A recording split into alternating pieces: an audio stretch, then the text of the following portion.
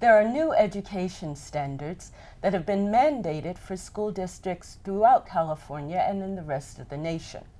What are these new standards and why do many educators think they will lead to better performing students nationwide? We'll answer these questions and more on Talking with Henrietta coming up next.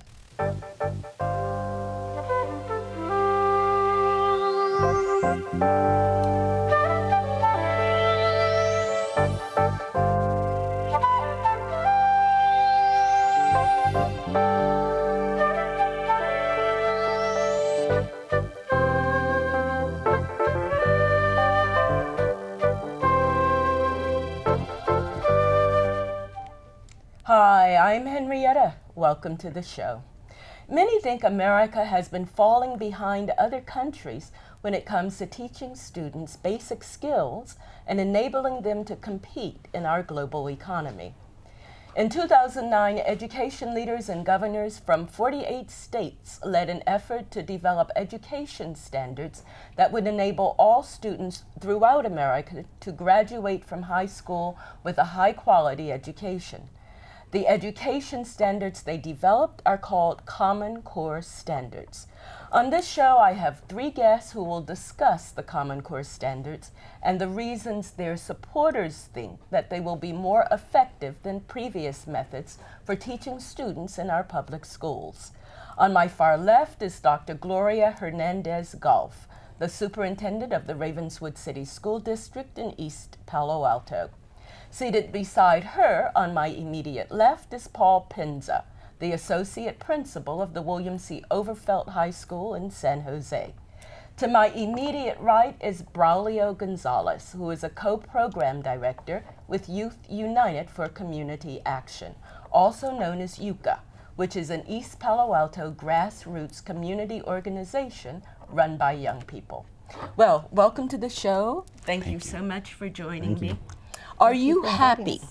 Do you feel satisfied that there are now new education standards called Common Core standards? Absolutely. I, I think that, um, as you stated, uh, and we were talking a little earlier, the three of us, on how uh, the system has changed in the last few years, where uh, there's a lot more creativity, a lot more acknowledgement of the different ways students learn, and a lot more opportunities for them to express um, how they're learning by uh, some performance based um, assessments, portfolios, uh, demonstrating their ability by things that they can create. Paul, do you agree with that? Do you are you satisfied? Do you think Common Core, new Common Core standards were necessary? Absolutely. I think they're necessary for a couple of reasons. One, um, now our state and much of the country has a very clear pathway to get students ready to go to college. K through 12, we know what's necessary in terms of teaching and learning at every step of the way. Secondly, in California specifically, um, I'm excited about the Common Core's push to make sure English language skills are developed across all subject areas at every level. Because of our high English learner population, I think that's mm-hmm. essential to make sure that access to college is equitable across the board. Okay, Braulio, do you agree?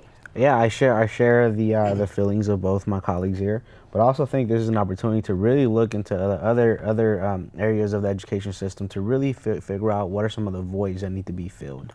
And so I, am really, you know, one of the things that I'm really excited about with Common Core, it gives an opportunity for for uh, community organizations, parents, students, and administrators and, and teachers to work collaboratively to, to implement a, a better, a new vision of education. Well, you would think, on the basis of what you said, especially you, Paul, that this is something that we had all along, uh, and it wasn't.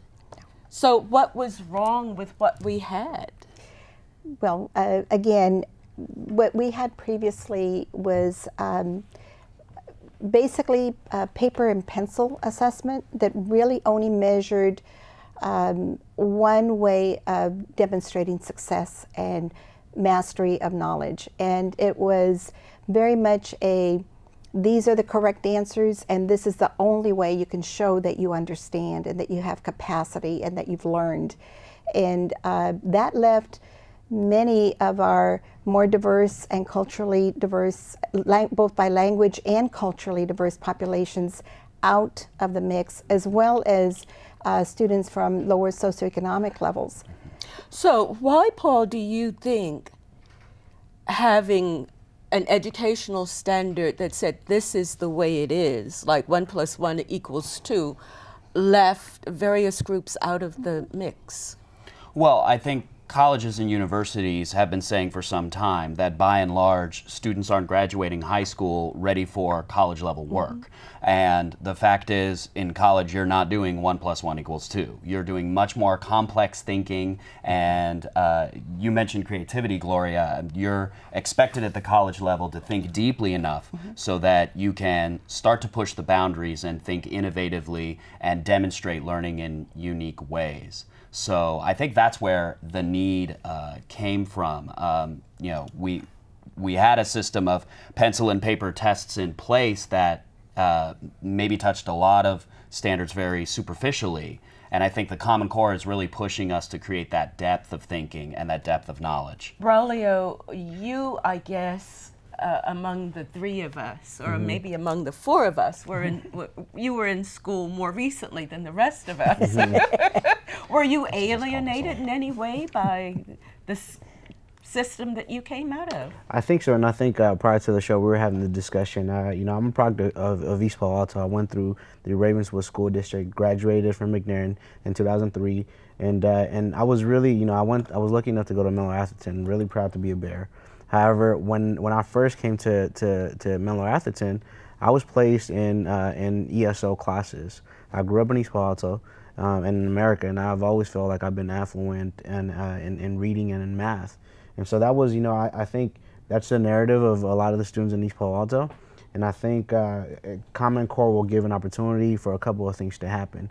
One is for students to really be challenged and be able to uh, show their potential. And then the other thing is it's you know it, it's it's an opportunity if um, if implemented correctly to give young people voice. Right. One of the things, one of the goals of of Common Core is to, to develop critical thinkers and problem solvers. And I think being a critical thinker and a problem solver, you have to you have to start where with you right? Your situation economically at home, uh, your community, and be able to think about solutions that way. And that's the story of the, a lot of the young people I have the privilege of working with. Okay, we'll get back to that. Uh, we've talked around it, so let's talk about it. What what is the Common Core? How would you describe it?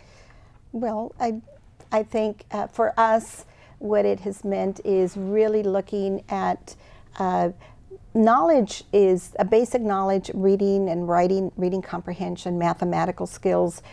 Uh, basically, uh, as you say, one and one is two.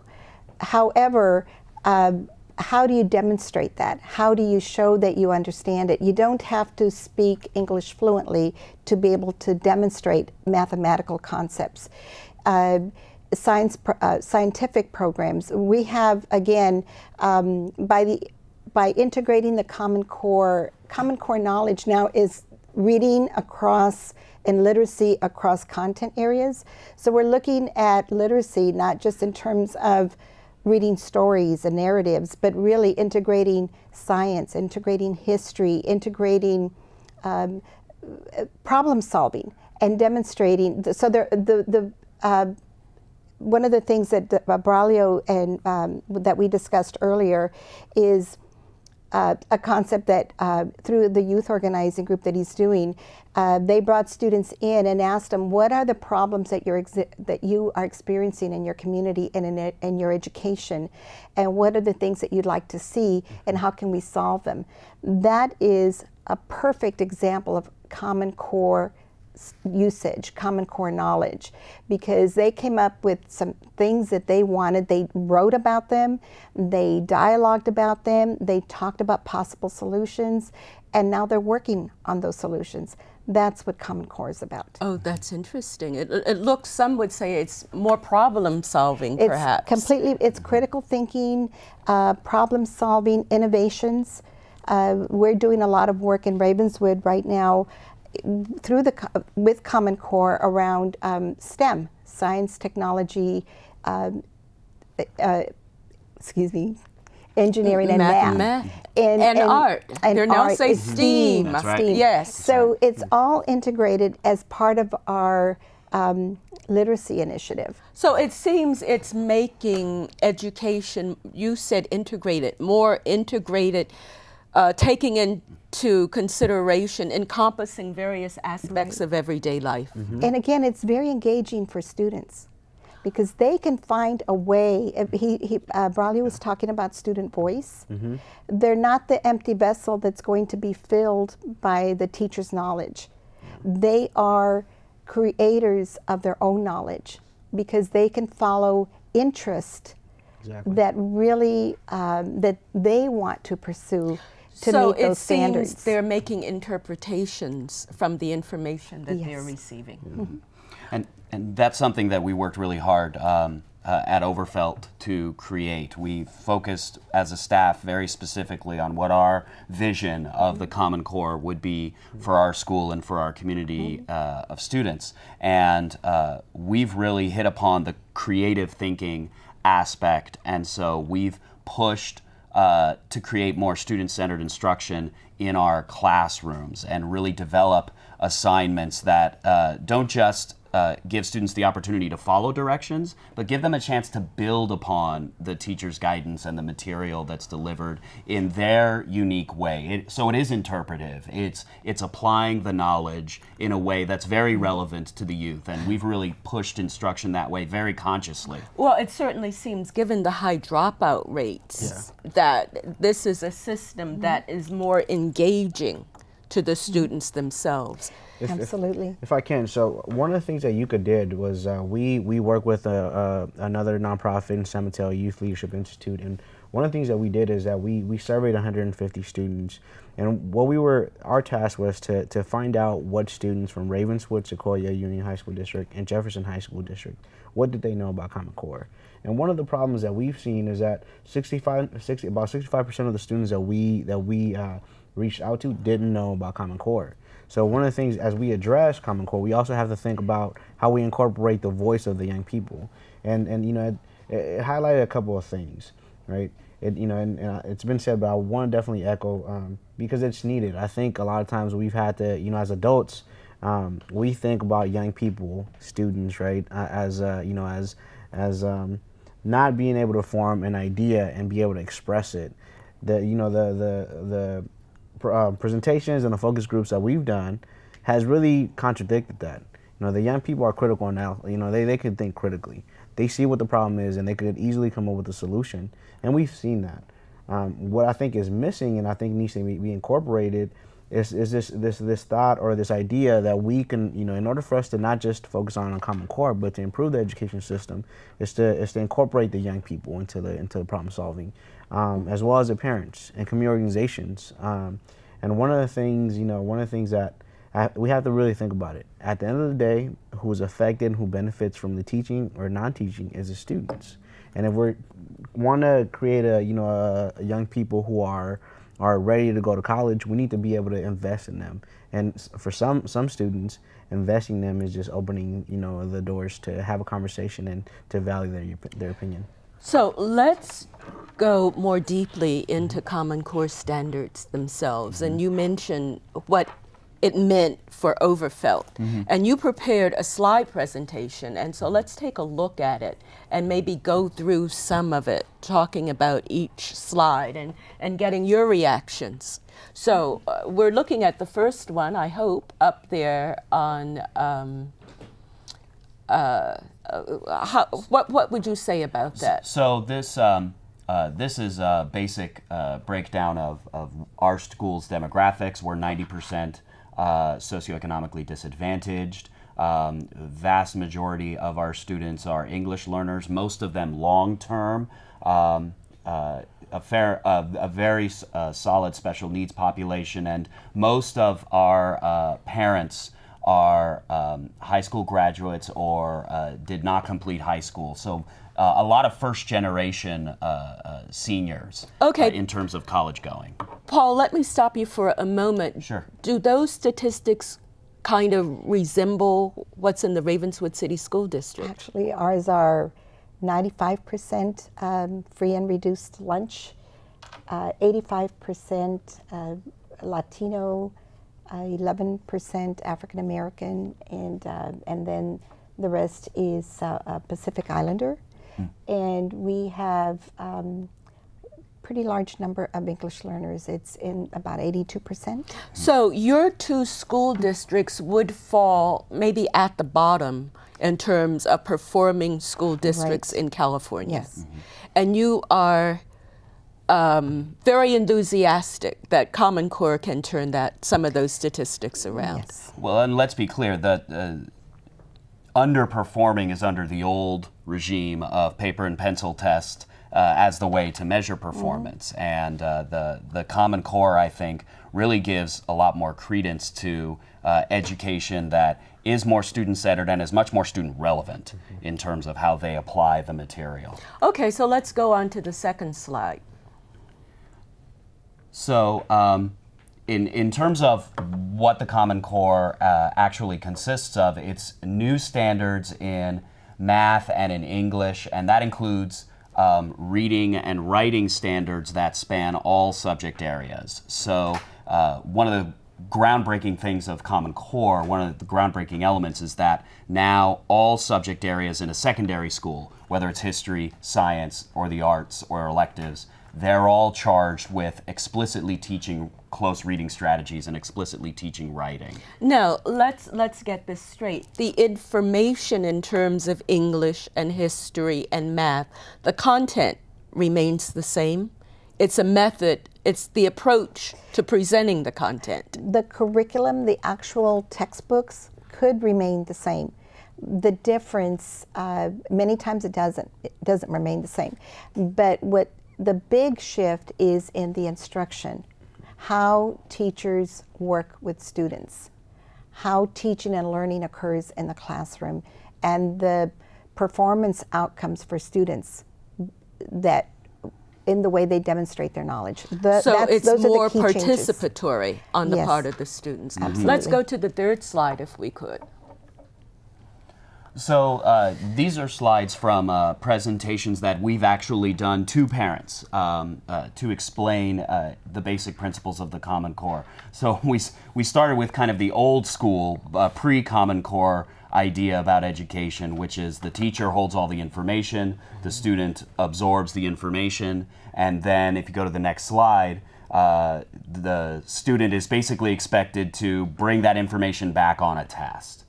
Um, and uh, what we have found, uh, as we mentioned earlier, is that colleges and universities are saying this is not enough. These are not the only skills that students need to have in order to be ready for university level work. And can I interject something? Sure, and we can lose that slide just for the moment. But the other thing that happens is not only are our students not college and career ready, but they're not prepared for the workforce either. Well, you can't prepare uh, a middle school student for the workforce, now can you? Actually, those skills, uh, we've done backward mapping, and those skills that predict success uh, and ha- having all of the assets to be a successful young adult actually um, start to be manifested in preschool. For example, give me an example. Okay, I'll give you an example. We, we talk about um, starting our kindergartners, um, kindergarten ready. In Ravenswood, in our district, two thirds of our students come into our kindergarten classes already two years behind because we don't have enough preschools and preschool space for them. So, uh, where in other parts of our community, um, when children start kindergarten, they've already been in a preschool program for two years. A very high functioning preschool that has a lot of enrichment activities, a lot of language rich activities, a lot of engaging activities. And our children come in without that foundation. And you add to that um, the language, um, issues where they might speak another language at home, so they are acquiring English. So you're talking about basic skills. basic skills, but they we talk about you know where this is all tied to that achievement gap, which there is a gap that already exists in kindergarten, and each year of It gets school it wider. gets wider and wider for many of our students. Okay, now when we looked at that slide, the last one, Paul talked about the testing that students are supposed to give back what they learned on the tests. They'll still be tested, won't they? Yes, absolutely. Okay, can we go to the next slide? So under the, the, the Common Core structure, um, rather than students simply devouring the information, we see, we see our job as uh, building young chefs of information, if you will. So the Common Core uh, really demands that uh, the instruction changes so that the kind of learning students are able to do changes. We want students who don't just absorb information, but who know who know how to find information for the questions they're asking, how to manipulate uh, and address that information so that they can apply it to real situations around them and express their unique points of view. So what that reminds me of is learning by rote, where you you learn the formulas, you learn the rules of grammar, and you give it back to the teacher. That was the old style. That's right. Yes. That's yes, right. Yes. exactly. And so now this is the manipulation, the ability to manipulate that. Yes. Uh, can we go to the next slide, if there is a next slide? Well, it's um, uh, it, it, it looks much less cluttered with the animation, but essentially uh, we talk about the real shift in math, um, which uh, students and, and teachers are at Overfelt are really in the trenches of. And um, if in the background there you see the multiplication table, and if the old school simply demanded that students memorize the multiplication tables so that they could recite what 11 times 4 was, um, with the Common Core, i it's very much conceptual, so that you understand that. Um, okay, when I say eight times five, what I'm really doing is taking groups of eight, like eight slices in the pizza there, and multiplying that out by five groups or five pizzas. So, Common Core really stresses uh, uh, language usage in math so that students don't just get how the numbers work together, but they understand conceptually what they're doing a- a- anytime they're they're calculating.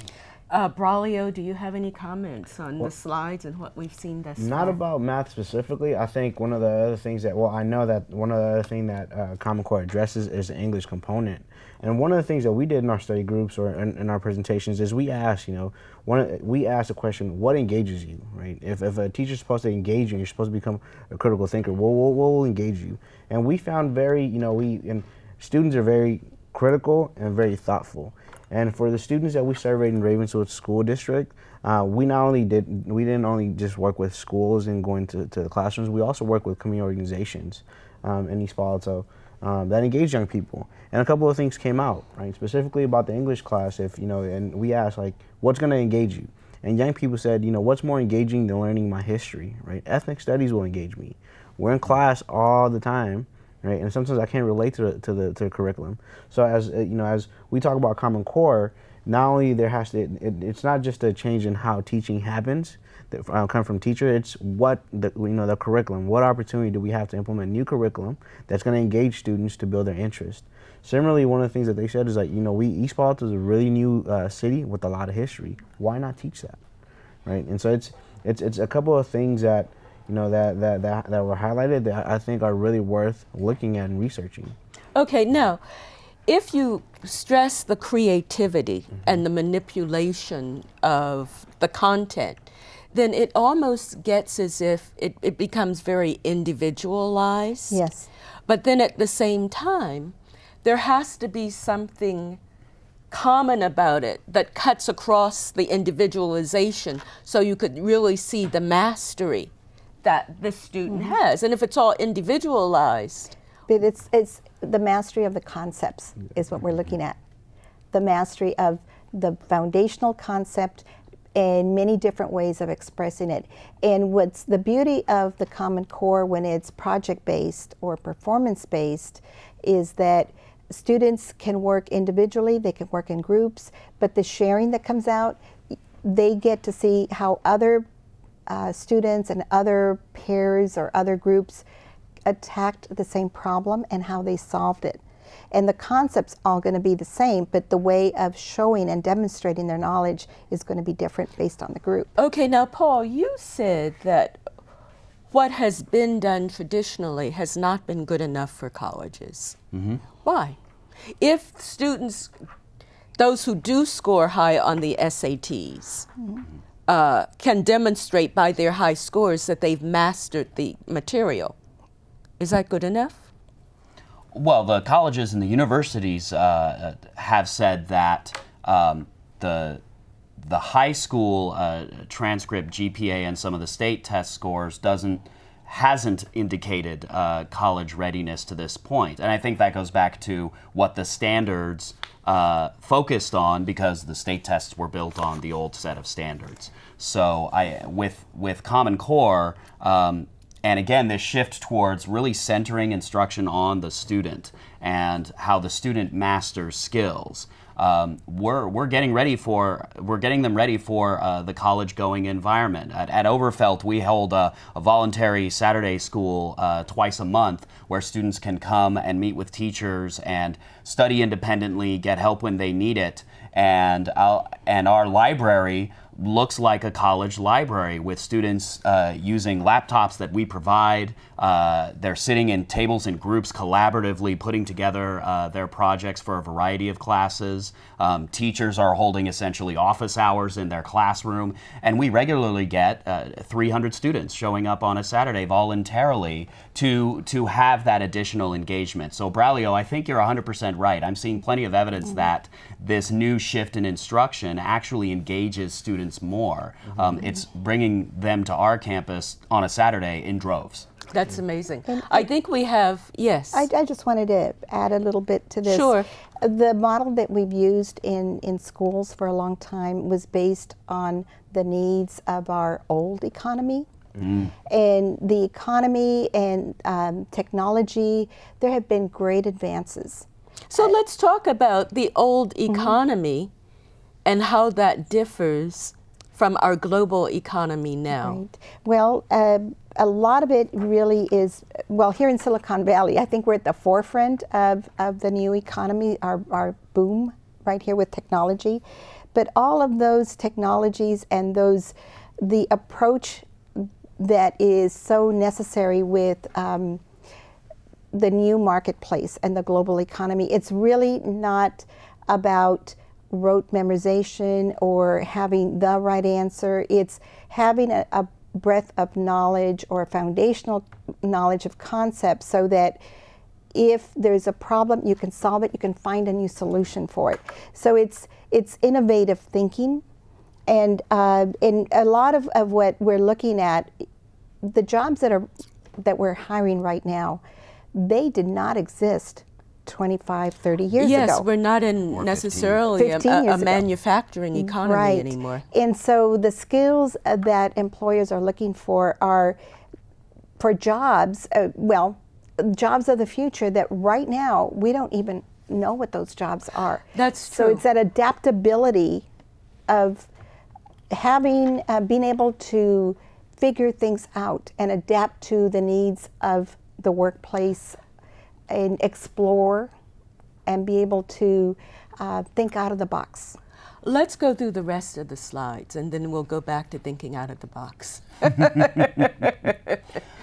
so this is a summary of what uh, our entire district, the Eastside Union High School District, has uh, focused on in terms of uh, their vision to go along with the Common Core. Uh, students graduating uh, not just knowing information, but empowered mm-hmm. to really transform their lives and to thrive in a global society. Mm-hmm. And uh, the mission connected to that focuses on our learning environments changing so that they mm-hmm. are more dynamic, they are more flexible. As you said uh, earlier, Henrietta, they, they are designed to give each student a chance to access the material in a slightly different way. It is very differentiated and dynamic um, because that's what's needed to really inspire students to develop those critical thinking skills, those problem solving skills. I'll give you a quick example. Our, our biology teachers collaborated um, when they were all focusing on uh, various uh, cellular processes in the body and decided that the end product uh, was going to be a public service announcement that the students